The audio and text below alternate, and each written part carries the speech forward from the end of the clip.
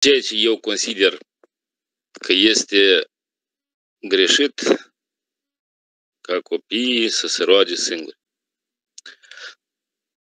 Până când el nu-l va vedea pe tata și pe mama sau împreună, el niciodată nu o să facă asta singur. Și vă spun de ce.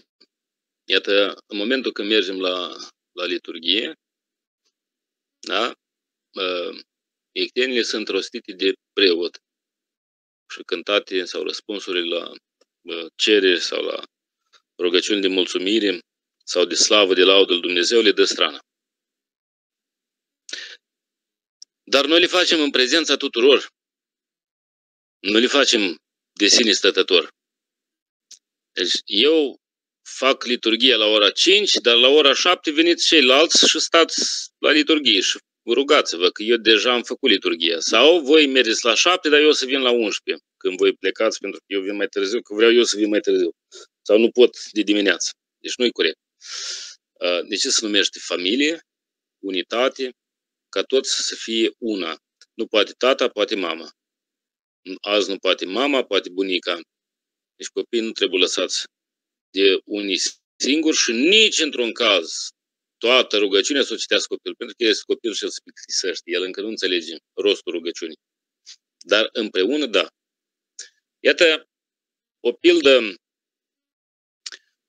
uh, un copil cam de vârsta copilului dumneavoastră, cam tot așa 11-12 ani, uh, se mai ruga el și mergea și cu părinții la biserică și tot auzea de sfinți, de privirea sfinților, de fețele luminate ale sfinților, de cum se roagă sfinții.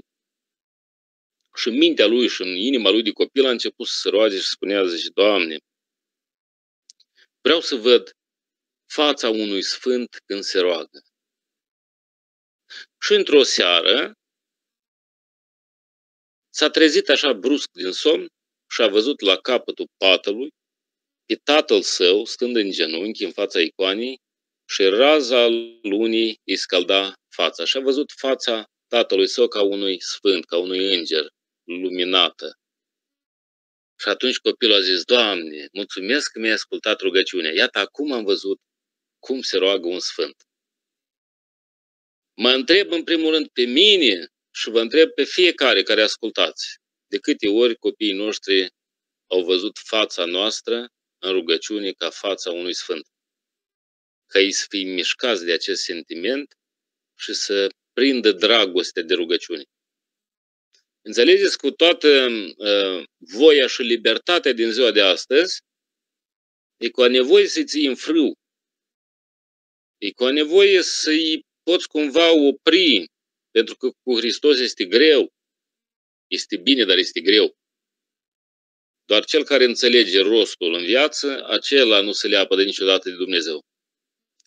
Iar ei au tendința asta să alunice la un moment dat.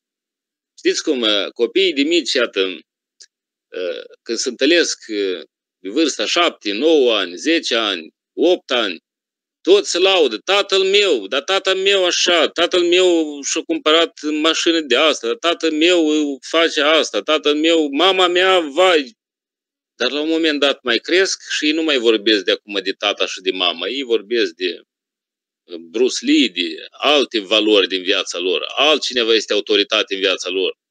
De ăla că e mare, ăsta e fotbalist mare, ăsta e boxier mare, deci au alte valori. Dar nu trebuie să vă sperie, că la un moment dat ei revin. Ei revin înapoi, anume din cauza celor șapte ani de acasă. Sfânta Împărtășanie care o punem din mici de la vârstă fragedă în inima lor. Iată, anume darul Duhului Sfânt îi preface și îi transformă. Este normal ca ei undeva să alunice, este normal și este firesc ca ei undeva să mai încalce, pentru că 11 ani nu vă supărați, e minte de copil, nu poți să-i faci nimic și nu poți să-l bați, să-l pui la rugăciune. Dar încercați altfel. Încercați să vă rugați împreună.